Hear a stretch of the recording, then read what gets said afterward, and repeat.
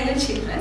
Today I am here to discuss a science lesson relevant to grade 11 science syllabus that is unit 15 biosphere. As you already know, this is a very important lesson for you because you are getting a compulsory question uh, for your science paper in O/L examination. So I think it's very important to discuss the concepts, uh, concepts uh, relevant to the biosphere. There are a lot of concepts to discuss in this lesson. So first, let's see what is the environment. Simply, we can say the environment is our surrounding. But in a standard way, we can explain the environment in a complex uh, definition. That means the physical and biological components in which interactions take place for the existence of the organism is the environment. That means there are physical components as well as biological components in the environment. They interact together in order to uh, make a suitable place for the existence of the organisms. So that is the environment. In this definition, uh, you found two important words. That means physical components and the biological components. So what are these physical components? Physical components are the non-living things. As examples, soil, water, air. And along with the physical components, there are biological components as well. So the biological components are all the types of living organisms in the environment, such as animals, plants, and the microorganisms. In addition to those physical and biological components, there are environmental conditions also. They also affect all the organisms exist in this environment. So those environmental conditions are temperature, rainfall, humidity and the sunlight. So there are uh, different interactions take place among the physical components, organisms and the environmental conditions. Uh, because of those interactions, different type of uh, changes may happen in the environment. But the environment can make an equilibrium in between those components. That means a balanced relationship is uh, making in between organisms and the physical environment or the physical components. That is known as the environmental equilibrium. I think you know the meaning of equilibrium. That is in simple way we can say equilibrium means balance. So in other words we can say ecological balance or environmental equilibrium. So environmental equilibrium means the balanced relationship between the organisms and the physical component uh, is equilibrium or environmental equilibrium. I think you can now understand what is environmental equilibrium. Although this equilibrium is taking place in the environment, a small change can be affect this equilibrium. But the environment has the ability to restore its conditions after a small change. But at present, there are so many complicated human activities which affect this equilibrium. So, uh, further you can learn about these uh, human activities which affect the environmental equilibrium and what are the ill effects of uh, human activities for the equilibrium later in this lesson. So there are so many ill effects and uh, adverse effects happen uh, because of that uh, human activities to the environment. Then next, in this lesson, we have to talk about the organizational levels in the biosphere because uh, when we talk about the biosphere, there are different types of levels, different organizational levels in the biosphere. Now in this diagram, you can see uh, different organizational levels starting from the individual. Next, the population, community, ecosystem and the biosphere. So, uh, in this lesson, you have to find out what are these organizational levels and how to define them and what are the examples for each organizational level. Uh, this biosphere is normally organized from a simple level to a complex level. So we can consider about these organizational levels from a simple level to a complex level and it is starting from the individual. So we can write it as a flow chart now you can see in the uh, screen uh, it is starting from the individual, next population, community, ecosystem and the biosphere. Then in the lesson, you have to find out uh, what is an individual, what is a population. Like that, you have to define all the types of organizational levels in detail.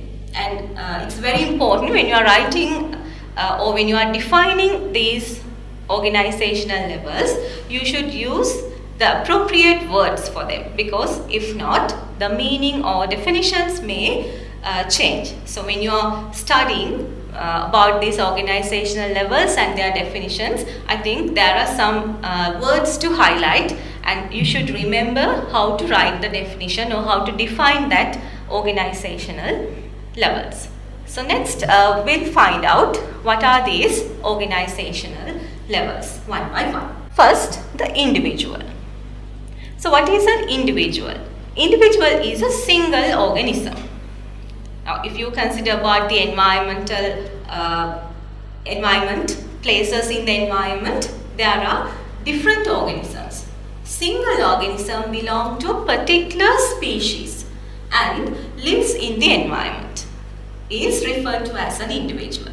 So here you have to uh, highlight the word species, particular species and live in the environment a single organism belong to a particular species and live in the environment. Here uh, you have to understand this is only one organism. We consider only one organism. It may be a coconut plant, elephant, uh, mango plant, tiger, rabbit, any kind of single organism and that belong to a particular species. Then what is a species? This word is very important. What is a species? Species is a group of similar organisms who can interbreed naturally to produce a fertile offspring. Now here it's important uh, these uh, species are belong to similar type of organisms. They are similar type of organisms that can interbreed naturally to produce a fertile offspring. What is a fertile offspring? Fertile offspring means if one generation is produced, that generation also should have the ability to produce a new generation. New generation. So that is called the species. I think it's clear to you. Then the next organizational level is population. Population means group of single organisms. Now you have already learned what is an individual. So if we take several individuals together or many individuals together, it becomes a population. So as a definition, we can say a group of organisms belong to the same species in a particular geographical location during a specific time period is called a population. So here you can see some words are highlighted, belong to the same species, particular geographical location and specific time period. So when you are writing or when you are defining a population, these words are very important because uh, when you explain about a population, they, uh, you have to say what kind of species and what is the geographical location where they or where they live and what is the specific time period. And as examples, we can say, uh, now you can see the examples. The number of elephants lived in Yala National Park in year 2011. And the next example is human population, human population in Sri Lanka in year 2014. Now, in these examples also you can see the species type is given, whether it is number of elephants, number of uh, human or number of any other animals like that. And uh, particular geographical location is also given. That means where they uh, located. That means uh, in Yala National Park or in Sri Lanka or in uh, India or in uh, any other geographical location. And And the specific time period is also important. That means we have to indicate or we have to say where they uh, or in which uh, year they uh, lived or what is the time period we are talking about. So whether it is 2011, 2014 or in a month like that. Then the next organizational level that is the community. Simply we can say number of populations form a community or in a uh, standard definition we can say a group of different populations interact with each other in a particular area that is community. A group of different populations interact with each other in a particular area is referred to as a community. That means different populations should live together. Now in the picture you can see uh, if we consider about any uh, forest or grassland, several populations live together. So it becomes a community. Then as examples for the community, we can say animal community in Yala National Park or mangrove plant community in Negombo Lagoon area. Like that, uh, there are several examples we can uh, use to understand what is a community. Then, uh, the next organizational level is ecosystem. Uh, I think already you have heard this word ecosystem because when you are learning about the environment, we use this word uh, most of the time. And ecosystem means all the communities, all the communities and the non-living components with which they interact. That means uh, when the communities live in the environment, they have interactions with the uh, non-living components or we can say uh, with the uh, physical components in the environment. So when they have interactions like that, we call it as an ecosystem. So the definition is all the communities and the non-living components with which they interact in a particular area is called as an ecosystem.